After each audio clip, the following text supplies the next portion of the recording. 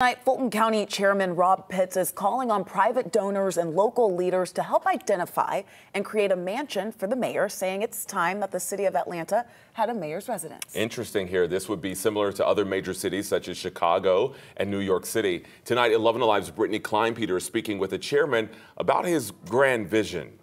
Fulton County is home to more than a million people, five major sports teams, endless venues, restaurants, and entertainment spaces. But one thing missing, according to Fulton County Chairman Robb Pitts, a mayor's mansion. Where the mayor can live, uh, should he or she choose to do so, but more importantly, to entertain. Pitts is pushing for leaders to get behind this idea, calling on nonprofits and private donors to step up. Somebody may have a suitable piece of property that they would like to donate, uh, some foundation, uh, a corporation, corporations, a chamber of commerce not necessarily talking about taxpayers' money. The chairman says he proposed this same idea about 10 years ago and believes it's time to consider it once again. What better time than now with the World Cup and everything that's involved in the World Cup coming to the state of Georgia, Fulton County, and the city of Atlanta. Coming up ahead at 5, we'll share what location the chairman has his sights set on to make this all happen. In Atlanta, Brittany Kleinpeter,